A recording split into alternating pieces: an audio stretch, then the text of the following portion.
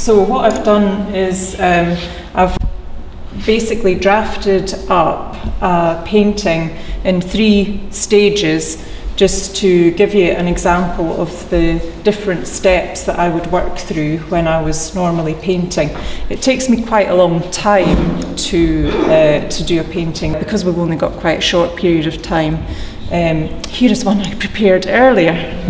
the inspiration for my work really comes from the environment um, and my love of sort of animals and wildlife and observing uh, people as well sometimes that uh, pass through the village and so on. Uh, quite often it involves um, animals between um, a squirrel and a butterfly or a dog and a bee or something like that. So there's almost a little uh, narrative going on in the image. So what I normally have is an idea in my head of something I think I'd like to paint that, that might be fun to do.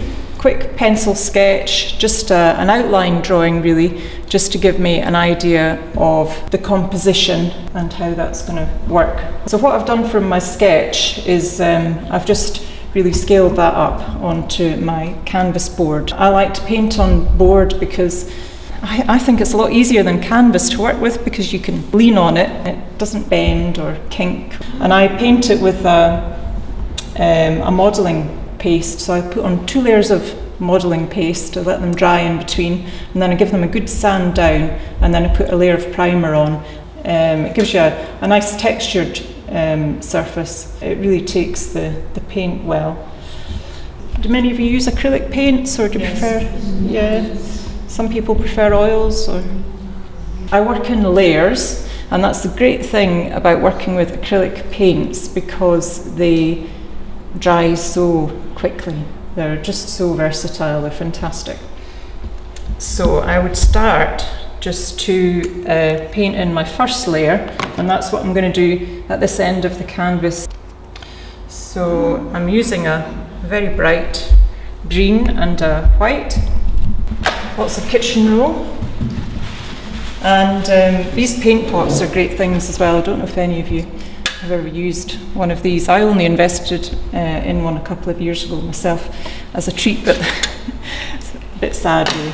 But uh, they have a base in the bottom with holes in and it means um, when you're washing your brush if you have uh, the left leftover paint falls through to the bottom so it keeps your water clean and it keeps your colours clean so they don't get all muddy because you're not washing your brush in uh, muddy water and I'm going to start to paint in a first layer I'm using quite a big brush and the first layer you're really just blocking in the colours. You're just wanting to cover the canvas and just sort of fill out the, the white.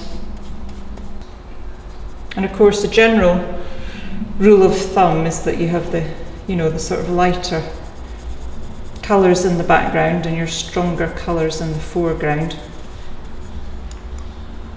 I noticed, Ailsa, that you paint on different sized canvases, different sized boards. Some small, some large, some long and thin. Is there any rationale behind that or just whatever takes your fancy at the time? It's nice to give the, uh, the galleries a selection of different sizes so you have different uh, price points for, for people really. Yeah. Um, so obviously the small, the small paintings quite affordable yeah. for most people whereas the big ones are uh, a bit more expensive and if you're putting in maybe half a dozen pictures to a gallery, they like to have a variety of uh, sizes. Yeah. Sort of painted in most of the background around this uh, collie dog here.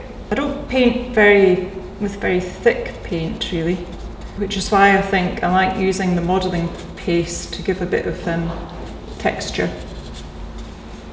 The advantage of not painting layers of very thick paint is that if you decide to change the outline of something, you're not left with a, a ridge of um, paint. It's easier to paint light on dark. So for my collie dog here, I'm going to make the, um, the first layer of the fur, I'm going to make really dark and then the subsequent layers and the, the, uh, the furry texture that will go on will be lighter. Do you ever paint in gouache? Oh, no. Oh, that was from the heart. Uh, very, it's very difficult to paint in gouache. Very difficult. Uh, water, watercolours. Do, does anybody here paint with watercolours? So difficult. I don't know how you do it. and gouache as well. So, it's so difficult to paint with. The wonderful thing about uh, acrylic paint is um, if you make a mistake, you just paint over it because it, it dries and you paint over it so hard using uh, watercolours and uh, gouache. Can I ask how you mix the black paint? Um, this is a, I'm using a Payne's Grey and just a touch of um, t- titanium white. So I'm just going to use a slightly lighter grey for this, uh, the legs in the foreground. Do any of you have your own animals that you use as models? Yes. They're a great inspiration, I think. So this is a, our collie dog, Jack, who features in quite a few of my paintings. He's six now. Very happy being a pet. Loves being a studio dog. That's his absolute favourite. Think, thinks he's um, done a hard day's work if he's spent a day in the studio snoozing on the daybed. so I'm just putting in a base layer of white, and at the moment I'm not really worrying too much about shading. I'm just really trying to cover the canvas. Once you've got that first layer on, I think you start to feel like you're really making progress. Sometimes it feels a bit daunting when you've got a, an empty canvas sitting in front of you. Do any of you you think that you've got along, you look at it and you think, oh. but once you get that first layer on, you can start to feel that you're making a bit progress. The other thing I have used recently, Liquitex have brought out some acrylic inks which are permanent and, and uh, they're quite good for adding detail.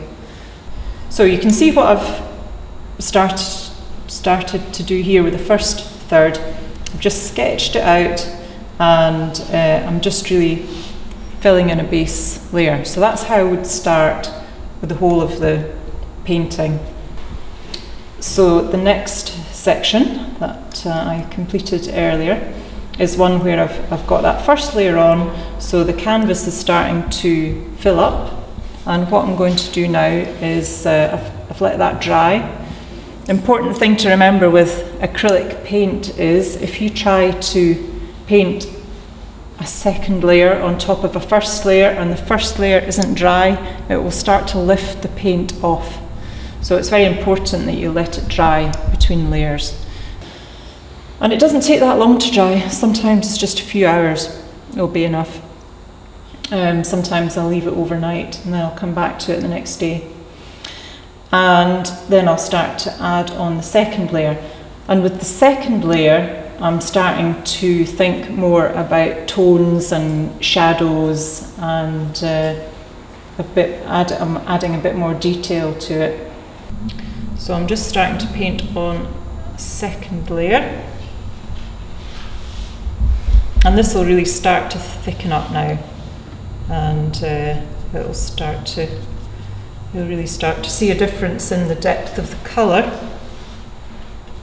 We had a week up north in um, Sutherland in uh, June. And uh, so I've done a few paintings since then with this sort of background in them. Um, which, I mean, it could actually, it's very similar to the Lake District in some ways uh, but just such pretty hills. So again, I'm just building on a second layer here to the hills. And of course the hills in the distance um, are always fairly light and then colours get stronger as they come towards you. So once you get the second layer on, it really starts to come together.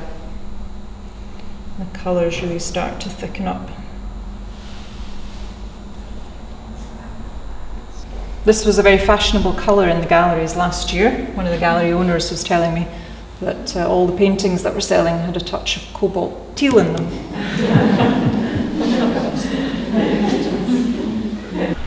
so I'm going to start on the dog and I am going to start to do a bit of um, colour mixing now. So I'm going to make him lighter at the top. That's where the light source is coming from. So uh, I've mixed in some white with my Payne's grey and I'm going to make the top of his back quite light.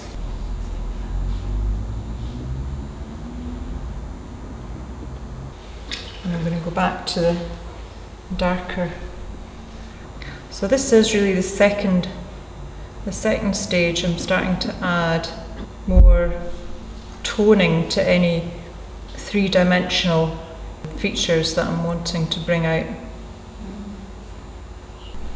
It does blend very well when it's uh, when it's wet, but you just need to make sure you work fairly quickly with it because once it dries you won't be able to blend it at all, obviously.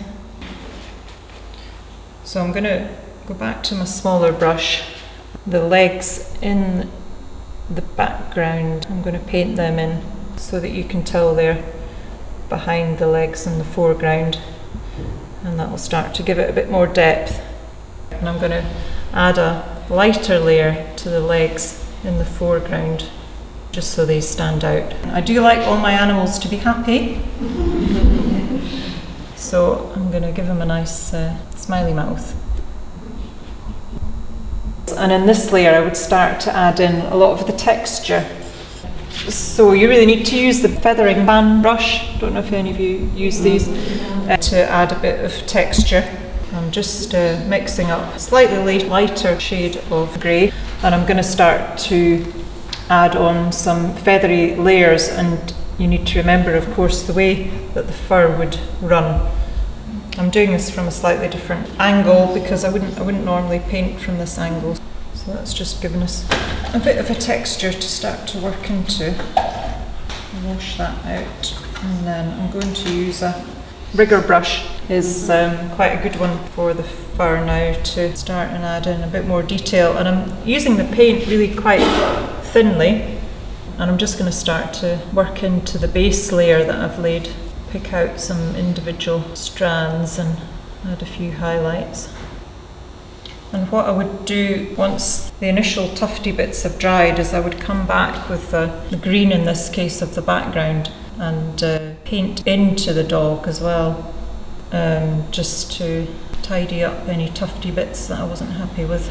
If you just vary the direction of the strokes a bit, it gives you a slightly more realistic I think all my paintings have um, animals in them or birds, um, and I tend to, they always tend to feature. So I do do some figurative work, but the figurative work will always have animals in it as well. So that is a theme that sort of runs through my work. It's just something that's evolved really. I've always enjoyed painting animals. I sort of develop them as little characters in my head and uh, and I like to paint the sort of the interaction either with them and a bird or a butterfly or a, or a bee that they might be chasing or looking at or something like that or it's an interaction between them and uh, human so my background colour is the, the green.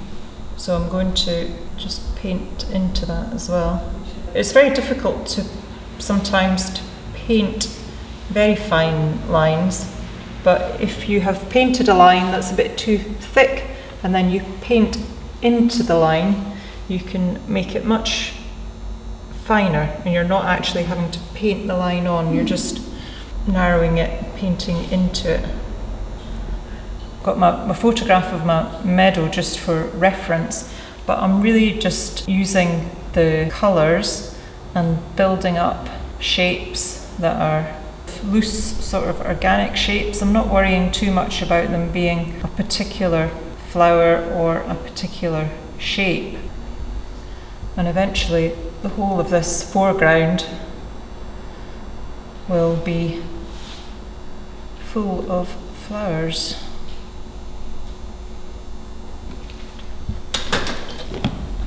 This is a very nice uh, yellow, it's called Indian yellow, and uh, it's a lovely warm colour. Why do you always mix white with the colours? Why do you not have them straight? At this stage, to get a strength to the colour and, a, and the lightness that I want, um, I just find it's easier to, to add a touch of, of white to them. If you were using a colour like this on its uh, own is quite translucent, I'll show you in fact. Uh, so because I'm painting this on top of a green, even although it's quite a light green, you can see how translucent that is in comparison to the one that I've added a touch of white to.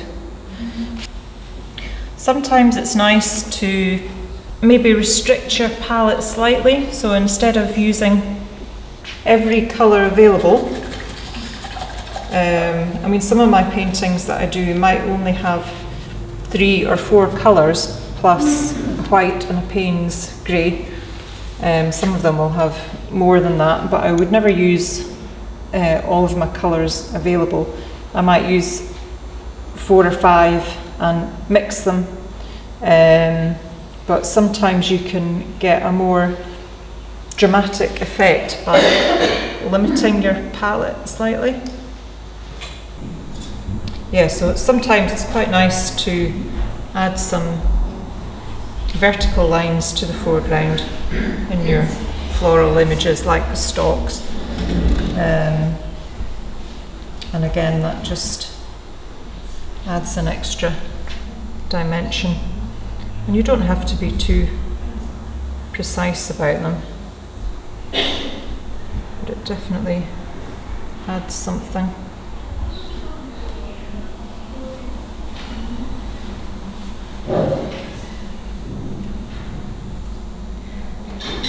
And then once I've finished adding my details and adding my stalks and building up my flowers, I would come back to my bees and add the details um, to them, add their, their legs and their wee feelers at the front. Does anybody have any questions? Is there anything people aren't sure about? Anything anybody would like to ask?